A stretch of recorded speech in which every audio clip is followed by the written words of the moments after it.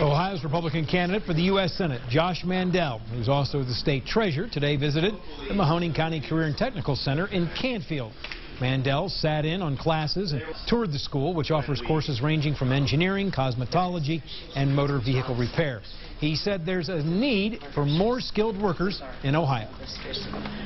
I think the backbone of the Mahoning Valley, uh, the backbone of uh, manufacturing in Ohio depends on having good, high-paying, blue-collar jobs here in our state. And in order to do that, we need to put the tools in the tool belt of Ohioans. I've been this pretty cool. Mandel is challenging Democratic incumbent Sherrod Brown for the Senate seat in the November election. A